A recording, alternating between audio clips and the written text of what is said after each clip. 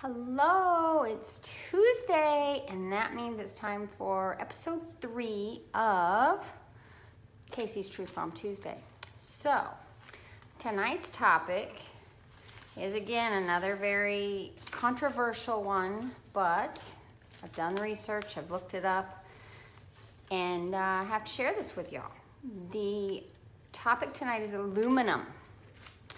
We might think that uh, aluminum is fine. We've used it for years. It's good for us, blah, blah, blah.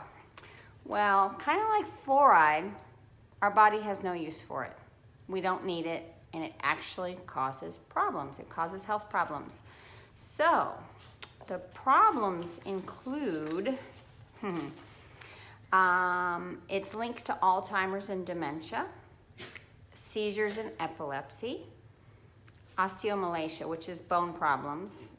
It's been shown to um, cause slow growth in children, bone pain, deformities, and fractures, um, chronic fatigue syndrome, ADD. That's just a few things. It's also, um, you might think, well, I don't drink out of aluminum cans, I don't use uh, aluminum foil, but most people do. That's the scary part. Most people do. But there's this huge, humongous list of things that are in everyday products that have aluminum. Now, it is kind of scary that it's okay to be able to put this in your body because they say it's safe, but there's a couple of items on this list that just one tablet exceeds the safe limit by a lot, lot, lot, lot, lot. But people use it all the time. So, what are some of the, the items? Well, top of the list is aspirin, buffered aspirin, which your doctor tells you to take all the time. You need this to stop this other problem. Well, it's, it's, it's one of the worst things you can put. It actually has 10 to 20 milligrams of aluminum in it per tablet. And then another one is antacids. Who takes antacids? I don't because I have oils for things like that. But anyway, um, and antacids have 104 to 208 milligrams of aluminum per tablet. I know so many people that crunch those down like candy because they have acid reflux or they have this or they have that. There's a reason you have that. Stop patching it with something that's causing a bigger problem. Um, dyes, cake mix, pancake mix, breads, processed cheese, baking powder, aluminum foil, cookware, vaccines, shampoos, cosmetics, lotions, soda cans.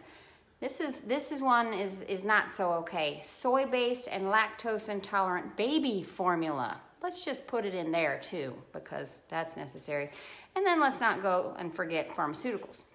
Um, and it's also used in refining sugar. So your packaged processed sugar has aluminum. It's been used to make it white processed sugar. So there's so many things. The FDA level, because they, they can't, aluminum is one of those things that it is a naturally occurring thing. It is in 8% of the Earth's crust and it is in air. It's in your air. It's in it's in everything. It's in your air, your products, your uh, breathing, your cooking. It's everywhere. So they can't really test what causes what. However, they have seen in animal studies that the um, excuse me that the um, it causes bioaccumulation. It also this is something that's very interesting about aluminum. It's a very reactive metal, so when you do ingest it, it has to bond to something. So it bonds to places in your body and it goes wherever it wants to go. 95% of it is excreted. That's great. That other 5% is not excreted and it is absorbed. And most of that ends up because it is reactive and it bonds to things. Its favorite thing to bond to is neurons your um, in your brain. Those are they they live forever. They don't replace. Every cell in our body replaces, but our neurons remain forever. Once they die, they're dead. and that's where they mostly accumulate. That leads me to the main cause of Alzheimer's and dementia is aluminum. I've done a lot of studies on it, people. It's really scary. So, you know, people, oh, I'm fine, I'm fine, I'm fine.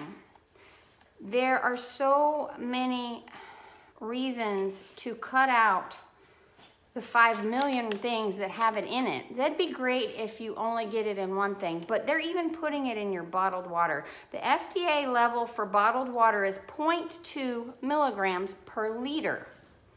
Now, I told you how much is in an antacid tablet. One antacid tablet has 104 to 208 milligrams. One tablet. One aspirin, 10 to 20 milligrams. So if the FDA says the level for water is 0.2 milligrams and that's safe, what about those things and everything on this list? The, it, it's it's way higher than the water. The water is the minimal, believe it or not. Um, but again, it's another another item that is put in everything that causes harm to the body. Oh, there's another one.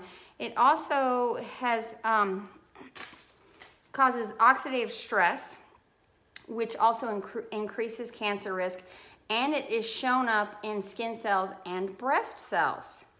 And it's in most breast cancers that are removed. They, they do pathology, and there's aluminum in there because we use deodorant. That's pretty scary. I make my own deodorant. I've done several videos over it over the periods of time I've been doing this, but it's simple ingredients that I have in my house that are non toxic, plant based. Um, Aluminum has been classified as a carcinogen to humans by the International Agency for Research on Cancer, IARC. Yet it's okay in this country. It's banned in a lot of places. It's not used in a lot of things. But in our country, they even put it in baby formula. That's pretty scary. That's actually um, really scary because a baby's blood brain barrier, the only thing keeps our brain safe from a lot of the toxins that we ingest is the blood brain barrier. And it can get, it, it only allows such small particles to get through. It keeps you safe from most stupid things that people take, do whatever with their body. But a baby, their blood brain barrier is not fully developed yet. And so we're feeding our children this, not knowing. And we're putting that in there and that, that, that aluminum bonds to your neurons. It doesn't let go unless you purposely detox, and that takes a lot of effort and time. So I just want y'all to look into it. Look into, oh, it also causes, um, it, com- my notes are scratchy. it causes DNA damage, chromosome aberrations, and micronuclei formations. I'm not a scientist, but those sound really scary. And like I said, I don't cook with aluminum foil. I don't have it in my house. I don't use aluminum pans. I use stainless steel. I don't use any of these processed things. Um, make my own deodorant. Don't eat boxed anything. I don't have antacids or aspirin.